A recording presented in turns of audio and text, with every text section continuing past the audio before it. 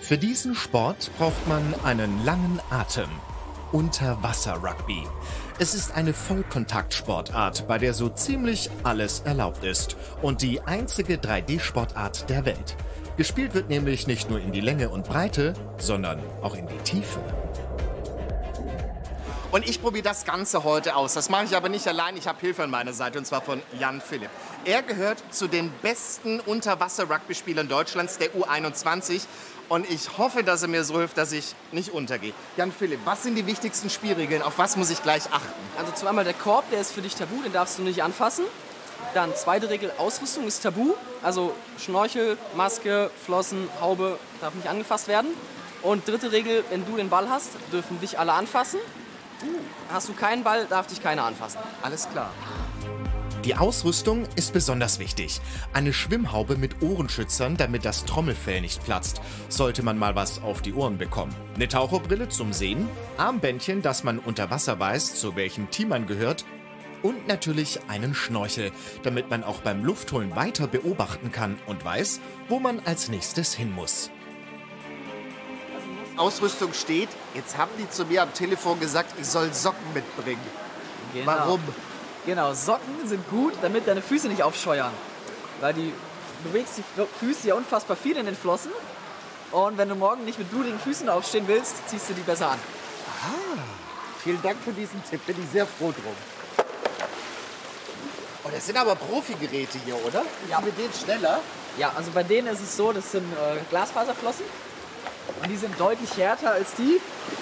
Und damit ist man um einiges schneller. Glasfaserflossen. Ist ja wie beim Spottwagen. Ja, krass. Wie bei jeder Sportart gibt's auch hier ein Warm-up, damit sich der Körper an die Wassertemperatur gewöhnt und die Muskulatur und Gelenke aktiviert werden. Dann geht's los mit meiner ersten Unterwassereinheit. Nein, wir passen uns jetzt gleich am Anfang erstmal ein bisschen zu.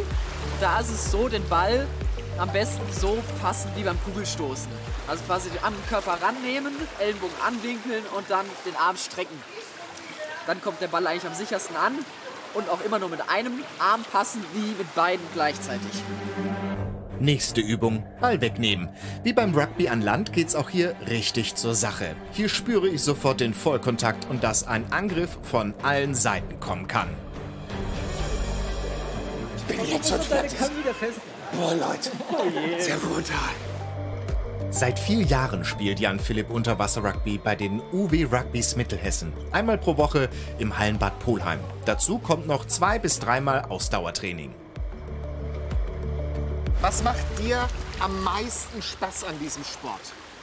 Ähm, der Mangel an Luft ist tatsächlich so der Reiz an der Sache. Einfach, dass man nicht immer atmen kann, sondern dass man wissen muss, äh, wie muss ich meine, meine Luft mir einteilen, so dass ich trotzdem mein Team unterstützen kann. Mit dem Schlag aufs Wasser geht das Spiel los und ich darf direkt als Stürmer ran. Jedes Team besteht aus zwölf Personen, sechs die spielen und sechs die eingewechselt werden, wenn man eine Pause braucht. Idealerweise ist das Becken so lang wie ein LKW, also 18 Meter, 12 Meter breit und bis zu 5 Meter tief. Gespielt werden zweimal 15 Minuten und damit der Ball überhaupt unter Wasser gespielt werden kann, ist der mit Salzwasser gefüllt, denn Salzwasser ist schwerer als Süßwasser. Während des Spiels geht's unter Wasser zu wie im Piranha-Becken. An den Körben darf man sich übrigens auch nicht festhalten, deshalb legen sich die Spieler mit ihrem Rücken so lange drauf, bis die Luft ausgeht und ein Teammitglied übernimmt. Also, Fazit von mir, eine absolut abgefahrene Sportart. Man verliert völlig das Gefühl, wo oben, unten, hinten, vorne ist. Es geht richtig zur Sache wie beim Rugby.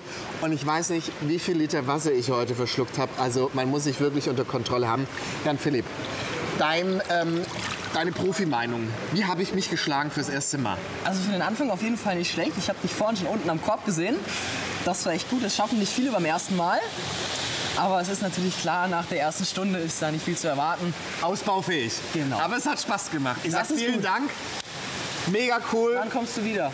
Ja, das ist jetzt die große Frage. Ich trainiere noch ein bisschen bei mir im Planschbecken, würde ich sagen. In diesem Sinne, tschüss. So, ich schwimme noch eine Runde. Ganz gemütlich.